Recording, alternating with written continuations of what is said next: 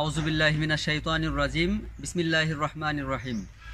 আসসালামু আলাইকুম রহমতুল্লাহি আবরাকাতু সম্মানিত ভিউয়ার্স আজকে আমরা আসছি, এটা হলো সিংগার থানা মানিকগঞ্জ জেলার কাস্তা গ্রামে। এখানে ফজলুল হক ভাইয়ের একটি ডেয়ারির একটা ফার্ম আছে, সেই বিষয়ে আমি একটি প্রতিবেদন করব আজকে। আর আপনারা জানেন তার বিষয়ে এর আগে একটি প্রতিবেদন আমরা করেছি আগের ভিডিওতে, তার পোলট্রির একটা ফার্মের। যদি আপনারা দেখে না থাকেন, সেটা আমাদের পুরো ভিডিও থেকে দেখে নেবেন। সেখানে তার অনেক লস হয়ে গেছে। তো আজকে আমরা এখানে দেখব ডেয়ারি ফার্মটিতে তার কি অবস্থা আছে বর্তমানে এখন। এখানে সে লাভবান হচ্ছে কিনা বা তার কি কোনো সুবিধা মানে অসুবিধা হচ্ছে কিনা এই বিষয়গুলো নিয়ে আমরা সম্পূর্ণ একটি প্রতিবেদন তৈরি করব। তো চলুন আমরা চলে যাই আমাদের সম্মানিত ভিউয়ার্স আমরা এখন খামারে চলে আসলাম এবং আপনাদেরকে আমি এখন দেখাবো বিষয়টা যে খামারের আয় ব্যয় সম্পর্কে এবং বর্তমান পরিস্থিতি খামারের কি আছে। সে বিষয়ে আমি এখন ভাইয়ের সাথে কথা বলব যে ভাই এখন বর্তমানে খামার পরিচালনার দায়িত্বে আছেন এবং ওনারই এটা খামার। উনি এখানে কত টাকা ইনভেস্ট করছেন কত টাকা ওনার প্রফিট আসতেছে বা বিষয় কীরকম এটা করলে কি হবে? সম্পূর্ণ প্রতিবেদনটি আমরা এখন তুলে ধরবো আপনাদের সামনে। তো প্রথমে আমি আপনাকে যে প্রশ্নটি করব আপনি যে এই শেডটা তৈরি করছেন এখানে এই শেডটা তৈরি করতে আপনার কত টাকা এখানে খরচ করতে হয়েছে? মোটামুটি দুই লাখ টাকার মতো। দুই লাখ টাকার মতো শেড বানাইতে খরচ হয়েছে আপনার। আর এখানে আপনার শেডে কতগুলা গরু এখানে আপনি রাখতে পারবেন এই শেডে? মোটামুটি নয়টা গরু রাখা যায় নয় থেকে দশটা গরু। থেকে দশটা গরু রাখা যায়। আর উপরে গিয়ে মানে আপনার সাপরা সিস্টেম করে দিচ্ছেন দুসালা না করে? তিন সেট সাপরা সিস্টেম করছেন। আর এখানে বর্তমানে আপনার এখানে কতগুলা গরু আছে? এখন নয়টা আছে। এখন নয়টা আছে সর্বমোট। আর গাভী আছে কয়টা? গাবি আছে চারটে সার গরু আছে পাঁচটা। আচ্ছা মূলত তো আপনার এটা হলো একটা ডেয়ারি খামার। এখানে গরু মোটা তাজা করার মূল উদ্দেশ্য না। এখানে উদ্দেশ্য হলো দুধের প্রোডাকশন বাড়ায় এবং বাছুর এখান থেকে উৎপাদন করা। হ্যাঁ। তো এখন তাহলে দুধ দেওয়ার মতো গাভী আছে কয়টা আপনার এখানে? তিনটা আছে। তিনটা আছে। আর এখন প্রতিদিন গড়ে কতটুকু দুধ আপনি পাইতেছেন এখান থেকে? এই মোটামুটি ষোলো থেকে আঠারো কেজি বিশ কেজি এরকম হয়। প্রতিদিন ডেইলি? daily। আর দুধ কীরকম? আপনার দাম কীরকম পাইতেছেন আপনাদের স্থানীয় বর্তমানে একটু কম আছে চল্লিশ পাঁচচল্লিশ। এমনি আপনার রানিং কত থাকে সাধারণত? সাধারণত ষাট টাকা সত্তর টাকাও আছে। ষাট সত্তর টাকাও থাকে। তো এখন প্রতিদিন আপনার যে খরচ সাধারণত আপনি গরুকে কি খাবার দেন এখন? এই সকালবেলা শুধু ভুসি আর কুড়িয়ে দিছি। আচ্ছা। আর বিকেল বেলা ভুসি থাকে কুড়িয়ে থাকবে আর যে কলার ভুসি এবং ছোলার ভুসি ভিজে রাখছে এগুলো মিক্স করে দেওয়া হবে। আচ্ছা আর আর সাধারণত গবাদি পশু বলতে তো আমরা জানি তৃণভোজী প্রাণী এরা। এরা ঘাস খাবার খাইয়াই এরা টিকা থাকে মানে জীবন ধারণ করে। হ্যাঁ। তো সেই ক্ষেত্রে আপনি কি ঘাসের কোনো ব্যবস্থা করছেন এখানে? ঘাসে ঘাসের ইয়ে আছে জমি আছে আমার। এখানে কতখানি জায়গায় ঘাস বলছেন আপনি? আড়াই আড়াই বিঘা জায়গা। আড়াই বিঘা জায়গা। ওইখানে কি ঘাস আপনি রোপণ করছেন। ঘাস আছে নিপিয়ার ঘাস আছে এখন বর্তমানে কলই ঘাস আছে। আচ্ছা নেপিয়ার কোনটা পাকসং যেটা? হ্যাঁ। ওটার ফলন কীরকম পাইতেছেন? নেপিয়ারটা মোটামুটি ভালো। মোটামুটি। এটা সমস্যা হলে পানি হলে হ্যাঁ নেপিয়ার ঘাস পানিতে আপনার সার্ভাইভ করতে পারে না মারা যায়। হ্যাঁ। আচ্ছা তো সেক্ষেত্রে আপনার গবাদি মানে গরুগুলা পালতে কোনো সমস্যা নাই? খাবার দাবার কোনো প্রবলেম হইতেছে না? কোনো সমস্যা আর যেগুলা কিনা খাওয়ান সাধারণত দানাদার খাবার এগুলার প্রাইস কীরকম এখন? দানাদার খাবারটা দাম এখন বাড়তি যেমন গমের ভুসি এটার দাম অনেক বাড়তে এখন বারোশো টাকা বস্তা পড়ে বাড়িতে এখানে আসা পড়ে আচ্ছা আচ্ছা আচ্ছা।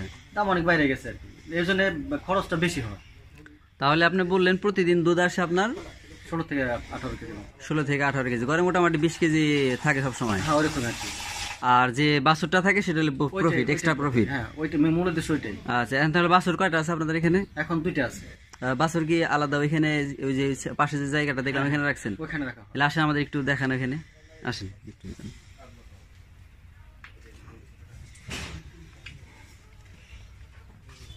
এই যে এই পাশে এই পাশে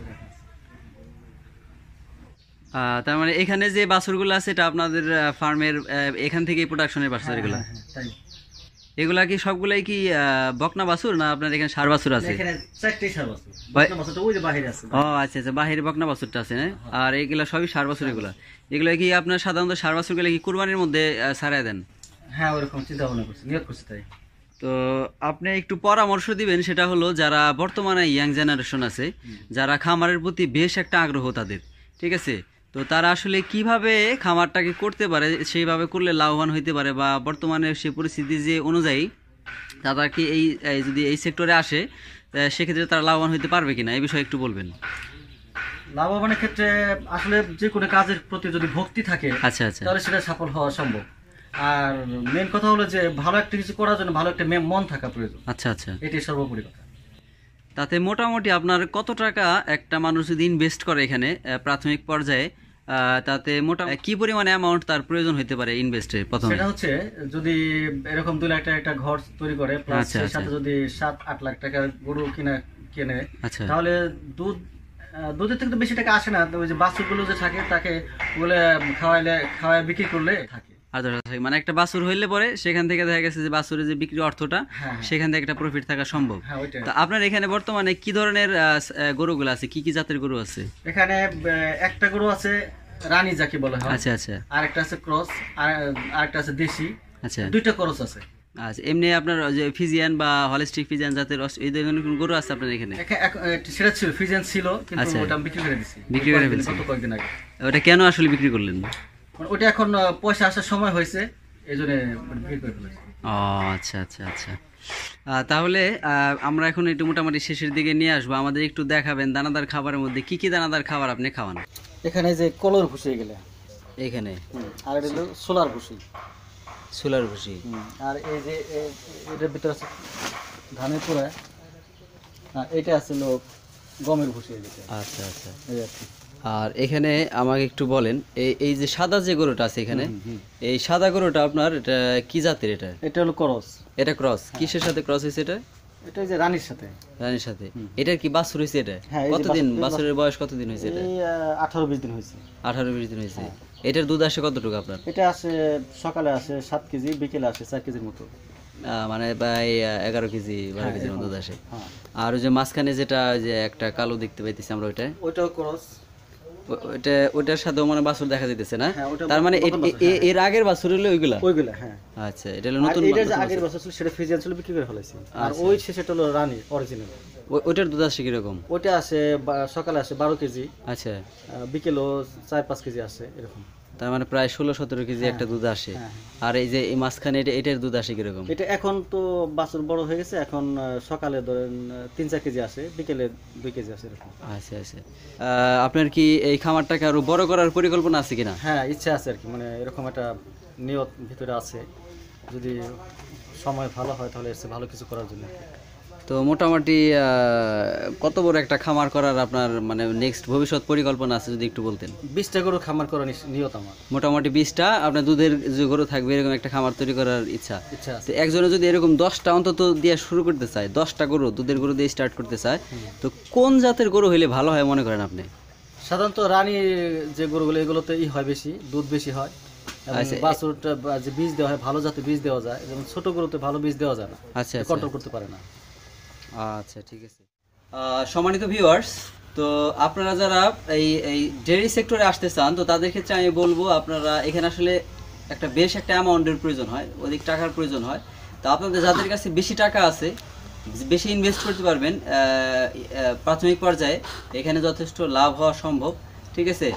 আর বিষয়টা হলো, আপনারা যেটাই করবেন সেই বিষয়ে সম্পূর্ণ জেনে বুঝে করবেন। আপনাদের যারা প্রাণী সম্পদ অধিদপ্তর আছে, তাদের সাথে যোগাযোগ করে একটা ট্রেনিং নেবেন। এই বিষয়ে শিখবেন, প্রশিক্ষণ নেবেন। যারা খামারি আছে, তাদের সাথে যাবেন, কথা বলবেন। তারপরে আপনারা একটা খামারে সেখানে ইনভেস্ট করবেন। তো অবশ্যই আমি আজকের ভিডিওতে যে মেসেজটা দিলাম, সেটি হলো যে, আপনারা যদি ডেরি করতে চান ডেয়ারি সেক্টরে লাভ হবে। এখানে যদি আপনারা করতে পারেন। কারণ একটু আগে ভাই আমাদেরকে বলছিলেন যে এখানে যদি পরিশ্রম দেওয়া যায়, এখানে যদি প্রপার শ্রমটা দেওয়া যায় এবং টেক কেয়ারটা করা যায়, তাহলে এখান থেকে একটা প্রফিট আপনার আসে। তো যাই হোক আমাদের পরবর্তী ভিডিওতে আবার কোনো একটি ভিডিওতে আমরা আপনাদেরকে নিয়ে আসব। তো আজকের মতো ভিডিও এখানেই শেষ করব। সবাই ভালো থাকবেন। আল্লাহ হাফেজ। আসসালামু আলাইকুম আ রহমতুল্লাহি আবরকাত